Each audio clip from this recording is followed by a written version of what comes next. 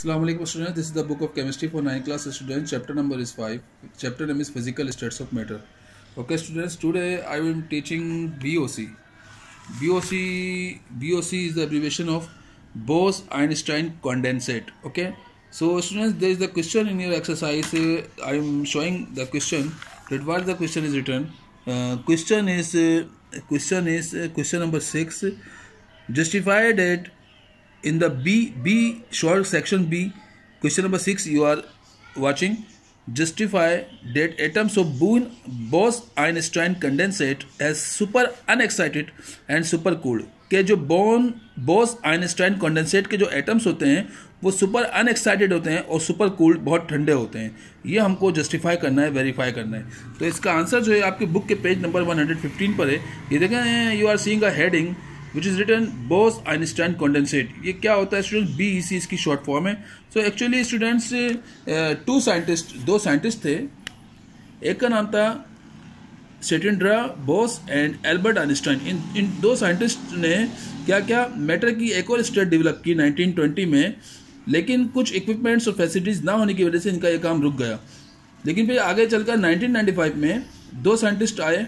एक का नाम था एरिक कॉर्नेल और दूसरे का नाम था कॉल वीमन। इन्होंने जो है, जो रुका हुआ काम था आइंस्टाइन का 1920 में, रुक गया था इक्विपमेंट्स ना होने के वजह से, इस काम को आगे बढ़ाया 1995 में। इन्होंने मेटर्स की इस स्टेट को डेवलप किया और उसका नाम रखा रखा इन्होंने बॉस आइंस्टाइन कॉन्डेंसेट इनके मुताबिक ये कौन सी स्टेट है मैटर की?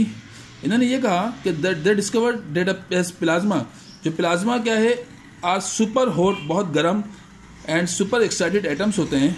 इसी को इसी प्लाज्मा की फॉर्म को इन्होंने जो है, दोबारा डिफाइन किया। इन्होंने ये कहा the atoms in a Bose Einstein condensate में आर टोटली अपोजिट इन्होंने अपनी थ्योरी जो पेश की बीईसी की, इसमें यह कहा कि जैसे कि प्लाज्मा की, प्लाज्मा स्टेट जो कि आपके सामने ये विलियम क्रॉक्स ने डिस्कवर किया था, इसने ये कहा था कि प्लाज्मा स्टेट बहुत सुपर हीटेड होती है, बहुत गर्म होती है।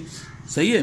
तो इन्होंने कहा यह गलत है कि इतनी सुपर हीटेड नहीं होती, ये सुपर कूल्ड होती है, ठंडी फॉर्म होती है।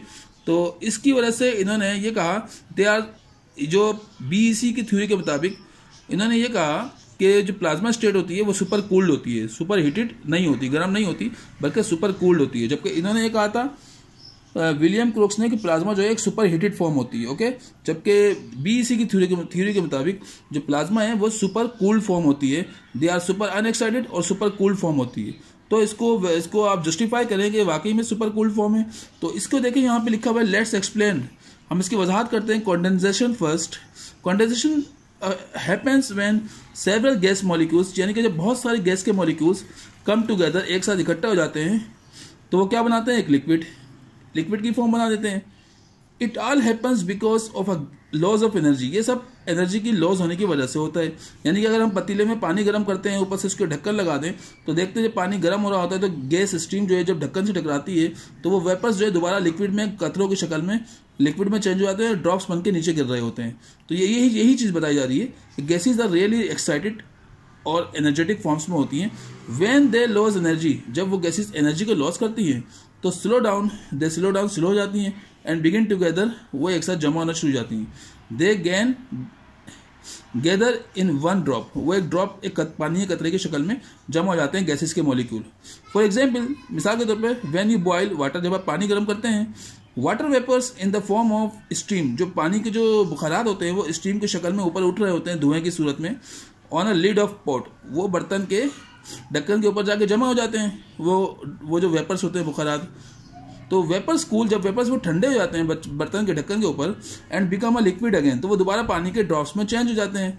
तो you with then have a condensate और यही इनकी बीसी की थ्योरी यही बोल रही है कि गैस के मॉलिक्यूल्स जब एक जगह इकट्ठे होते हैं तो वो लिक्विड की फॉर्म में तब्दील हो जाते हैं। ओके तो ये इनकी थ्योरी थी स्टूडेंट्स तो इसका क्वेश्चन जो लिखा हुआ है, इसका क्वेश्चन इस तरह से लिखा हुआ है इसका क्वेश्चन लिखा हुआ है question number six justified that Bose Einstein condensate आज सुपर अनएक्साइड और सुपर कोल्ड फॉर्म में। तो जब गैस के मोलिक्यूल इकट्ठा होकर पानी के कतरों में तो चेंज हो जाते हैं तो वो ठंडे हो जाते हैं, यानी कि सुपर कोल्ड फॉर्म में आ जाते हैं। तो यही हमको डिफाइन करना था। तो इसका आंसर जो है, आपका बुक के पेज नंबर 115 पे है।